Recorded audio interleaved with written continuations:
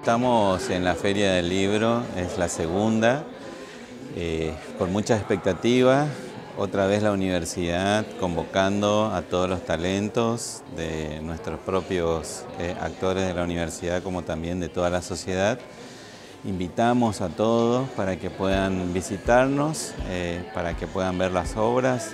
También agradecer a las editoriales que se suman a este proyecto, a la nuestra en particular, EUDN, que van a exponer todas nuestras, nuestras potencialidades en el tema de literatura. Y bueno, eh, también haciendo eco del patrimonio y de la posibilidad de seguir creciendo. Este año nuestro eslogan es experiencia cultural de nuevas formas, es decir, a través de las distintas manifestaciones artísticas, la palabra, el autor, el texto cobran relevancia y real importancia.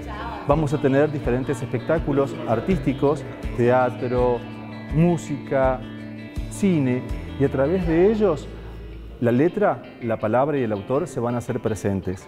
Venimos también eh, a través de la convocatoria de los premios de las letras, que, es una de, nuestros eventos también que convoca a los talentos y también nuestros autores eh, que aportan todas sus potencialidades y en algunas en particular que estamos haciendo con los gobiernos provinciales, una en particular en Corrientes que con el Iberay y ahora que vamos a profundizar eh, con el instituto de acá de la provincia del Chaco, eh, nos hace de que esta dimensión de la cultura y el arte, especialmente en la literatura, pongamos un énfasis este, muy particular para que aumente la producción y también la calidad de nuestras ediciones.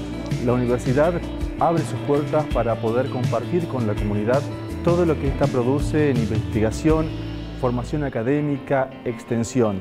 Del 9 al 18 de agosto en el Centro Cultural Nordeste Arturo Elía 1355 los esperamos para disfrutar de la segunda Feria del Libro.